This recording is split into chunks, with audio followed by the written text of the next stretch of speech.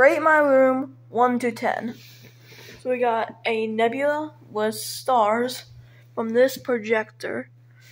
I got a Mario um light, a world map, a Western Hemisphere map, constellations, and stuff. Just come around here.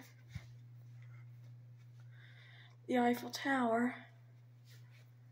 Super Mario. Anything that I drew uh, this summer.